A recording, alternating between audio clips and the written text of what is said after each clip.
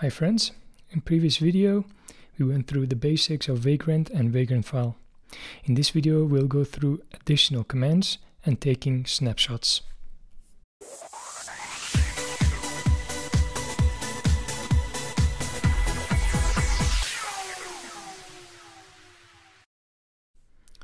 Using the Vagrant command options for help, you can get a list of all available commands. The list commands option shows additional options for Docker and rsync.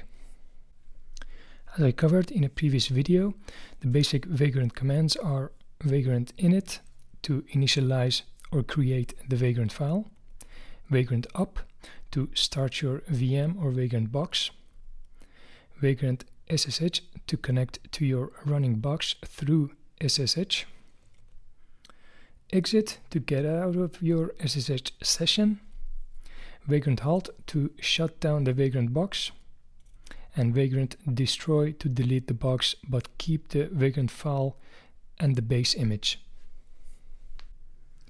You can use the following cheat sheet for most used commands and vagrant file syntaxes.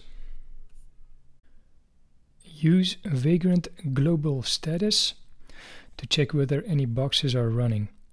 This is especially handy when running multiple boxes. And use vagrant halt with the box ID to stop the uh, running box. You can run any bash script right after the first time you run a box by uncommenting the last couple of lines on your default vagrant file. In this case, apt-get update will run and then Apache 2 will be installed. With plugins, you can add new functionality to Vagrant. You can find a list of available plugins in the following link, which is also in the description. In there, you find also the documentation about the plugin. Install a plugin with Vagrant plugin install followed by, by the name of the plugin. Get a list of all your installed plugins with Vagrant plugin list update your plugin with Vagrant plugin update and remove the plugin with Vagrant plugin uninstall. Next, let's discuss snapshots. Taking snapshots enable you to preserve the state and data of a virtual machine at a specific point in time. There are two ways you can take and restore snapshots in Vagrant. A quick way without entering a descriptive name or one with a name the VM can be powered down or running to take the snapshot. If you want to quickly create a snapshot without entering a name, then use Vagrant Snapshot Push.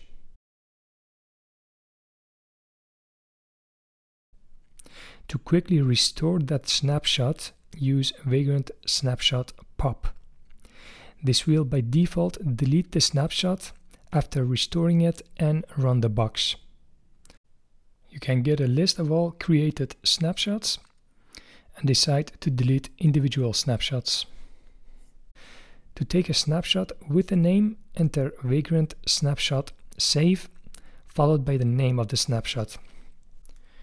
You can take as many snapshots as you need.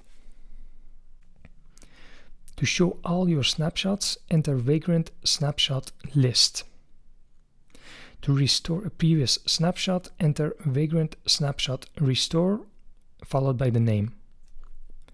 According to vagrant documentation, you should not combine push pop method with save and restore. You can take as many snapshots as you want, but it will take some space on your hard drive. Watch my video about VirtualBox snapshots for more information. Hope you enjoyed this video and I'll see you in the next one.